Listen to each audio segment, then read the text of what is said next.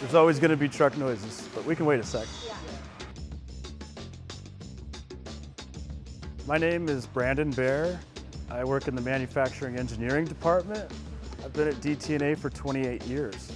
The most rewarding part of my job is working with people.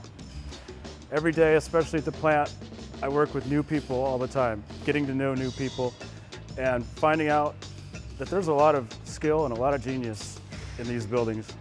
My job in the e-mobility project as a manufacturing engineer is to design the process and help build the truck.